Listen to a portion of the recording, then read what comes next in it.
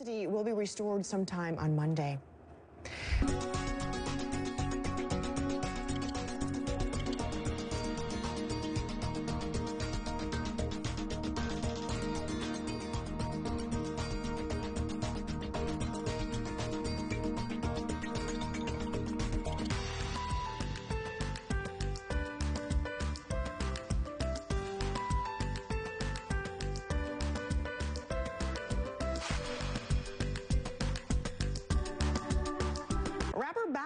Is out on bond this morning after he was arrested.